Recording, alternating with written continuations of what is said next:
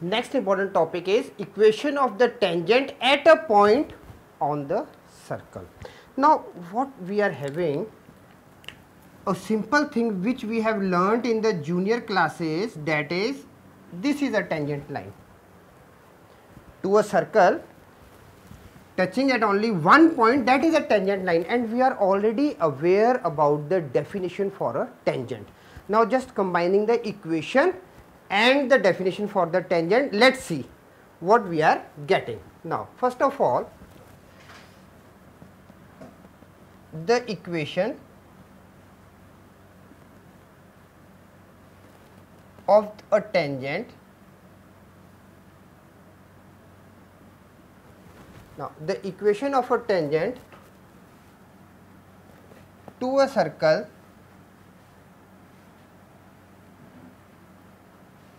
may be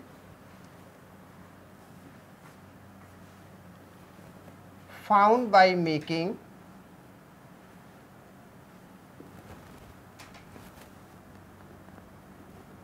use of the fact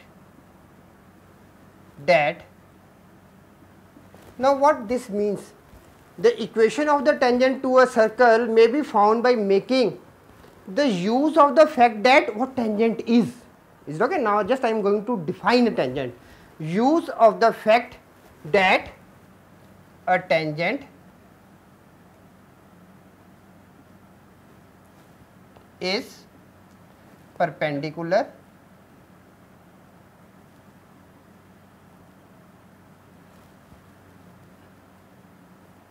to the radius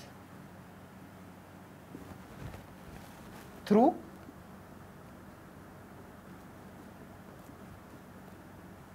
the point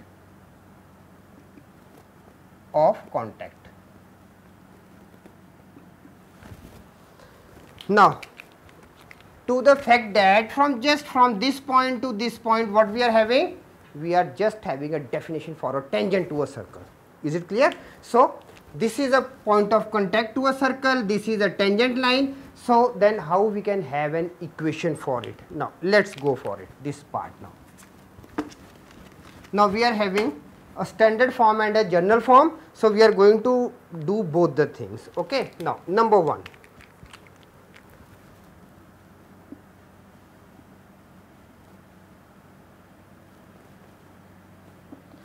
The equation of the tangent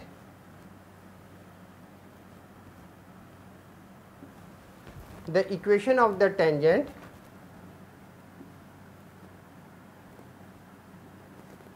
to the circle x square plus y square is equal to a square at the point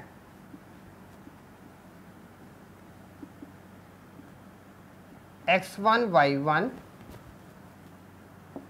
is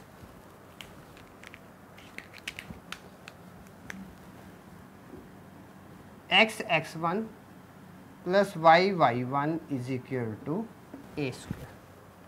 This is first thing and number 2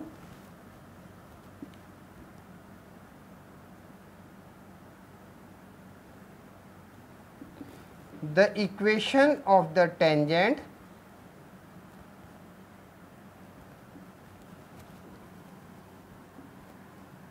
to the circle having equation x square plus y square plus 2gx plus 2fy plus c is equal to 0 at the point